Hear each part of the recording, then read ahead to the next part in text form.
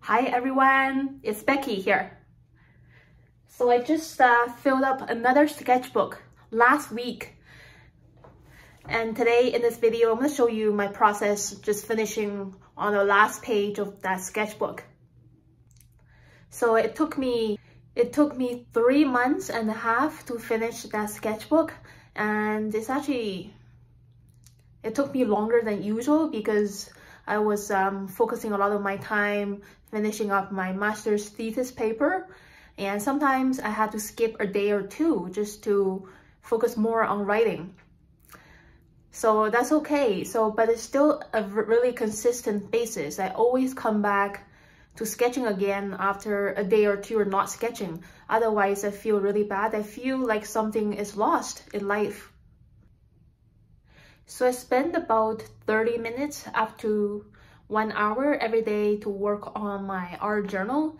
It's a really nice way to kind of um, break away from the everyday hassles and just focus on the moment um, right now. Just allow time to slow down and um, you know for the mind to focus on a really peaceful point so i've been sketching in my art journal on a really consistent basis for 10 years now so this year is the 10 year anniversary of my art journal journey so most of the sketchbooks that i've used over the years have an average 60 pages each double-sided.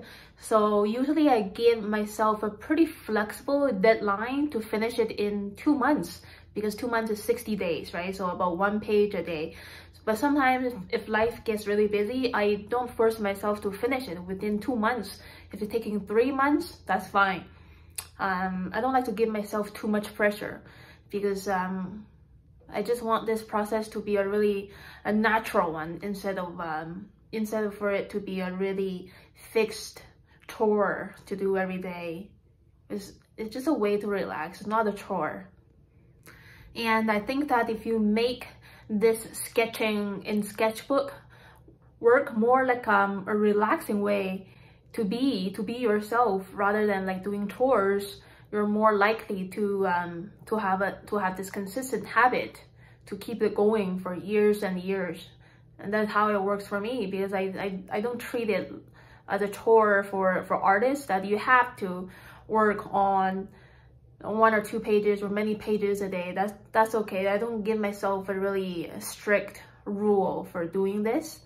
I just, uh, I just pick up my pen and my water and my watercolors, you know, any moment when I feel like to.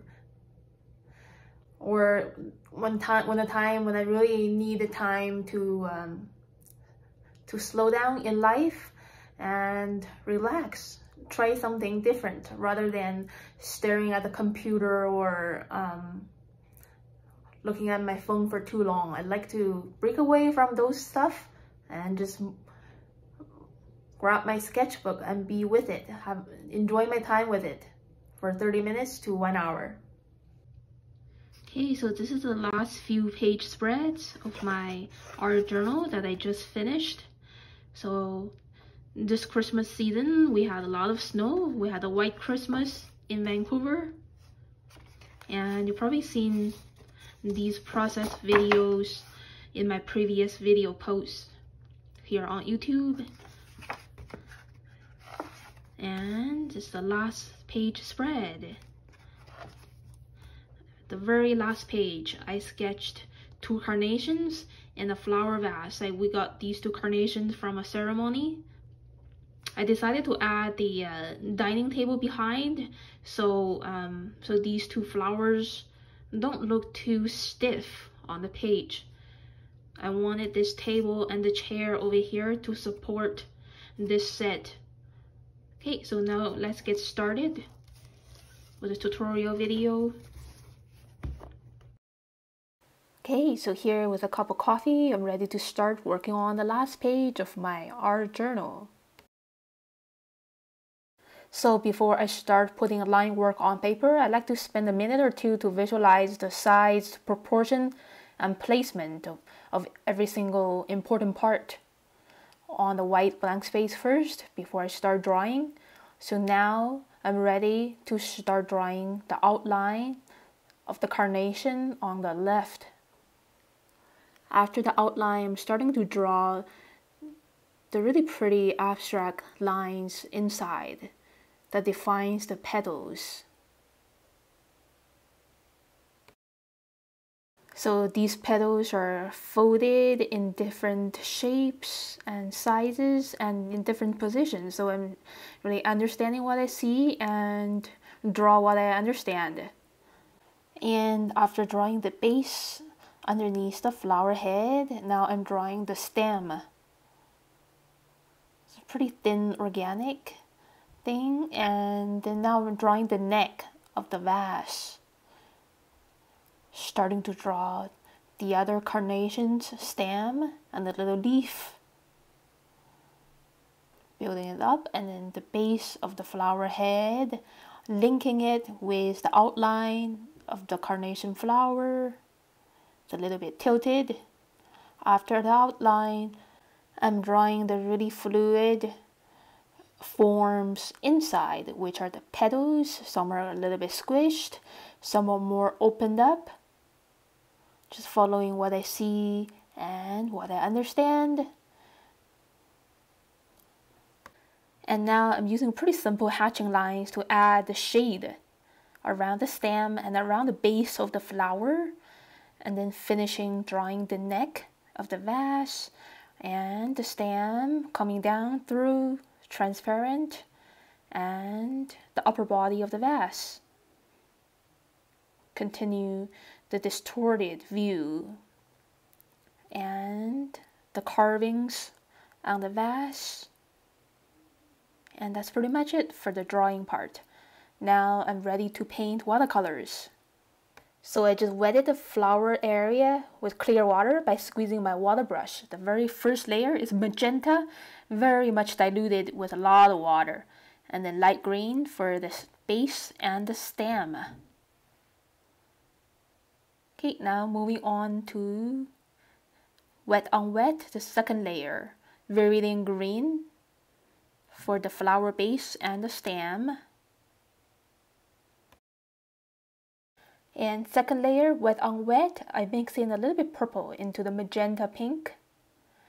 And just apply this um, bit of shade color around the inside, in between the flower petals here and there and making sure not adding too much because I want to preserve the fresh pink color.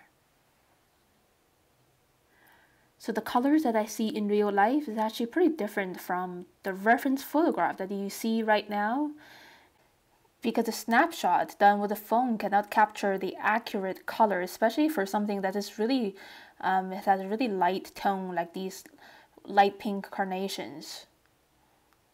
Okay, so now I am painting the flower vase. It's a pretty very watery layer of green. And then mix ultramarine blue into the green to get a gray turquoise color for the shade of the glass here and there. And the even darker tone of blue. Just so now it looks more glassy. There. And now I just want to add a tiny bit more contrast for these carnations by mixing a tiny bit of ultramarine blue into the pink. Because the day is getting darker and um, it's very late in the afternoon, it's getting dark very soon. So these light flowers are having more contrast now. And now, as I mentioned before, I decided to paint the dining table behind just to make sure this vase is more balanced on the page. And mixing a little bit ultramarine blue into this pink brown to add the reflections on this um, glass covered dining table. Okay, nice and loose. A little bit shade inside the vase and around it. So now I am painting the chair behind. So the uh, table and chair are both mahogany, nicely designed and carved So now I'm using my medium tip water brush to get these details painted well. A little bit shade too. And mixing blue into the green to paint the shade part of the flower base. Bit of outline for the table just to make it sharper. A little bit contrast for the inside of the flower vase so it looks more shiny like crystal glass. And that's it. And here's the look of my finished sketch. So thank you so much for watching my video. If you like my video please click like and leave me a comment below. Subscribe to my channel for weekly updates. And i will see you again very soon. Have a great day and just a quick reminder that the first class of the beginners drawing and painting starts this Saturday, January the 15th, so you can still sign up.